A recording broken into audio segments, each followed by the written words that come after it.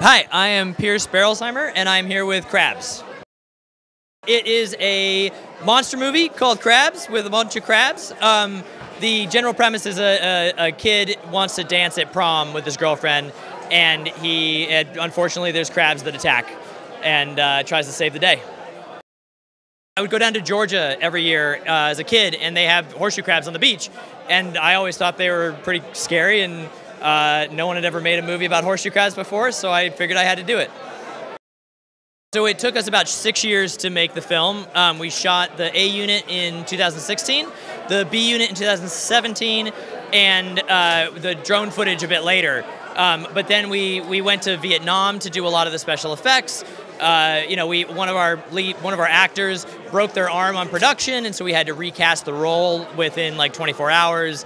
Uh, we lost all of our locations and had to find new ones within like a couple weeks of shooting. I mean, everything that could have gone wrong did go wrong, but in the end of the day, the movie is infinitely better for all of the things that happened along the way. Like, without everything that went wrong, the movie wouldn't be nearly as interesting or good as it is as it is now.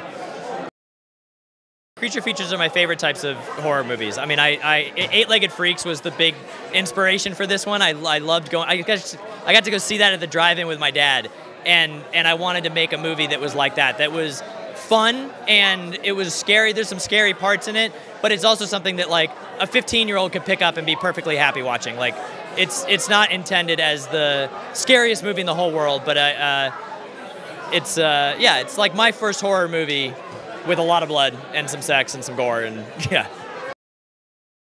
The biggest thing was in the beginning of the movie, we we had these giant monster suits, and I pictured them moving a certain way.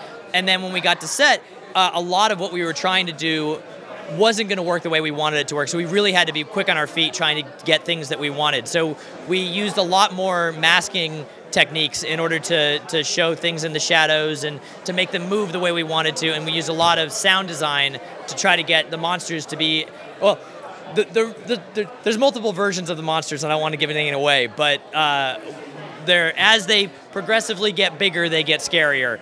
And so trying to find the balance between the fun little monsters and the scary big monsters was a challenge. And as as production went on, we definitely leaned have more into the comedy element of it uh, than the horror element because the the fir- the more we tried to force the horror, the more it didn't work in the way that it didn't play nice with the rest of the film. So we really leaned into the comedy element of it, and I think that's where the movie found its stride.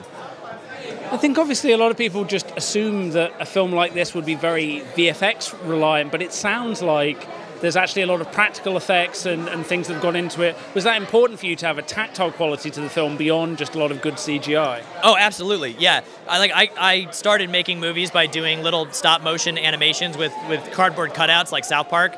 And so doing things with my hands has always been really important to like the filmmaking process.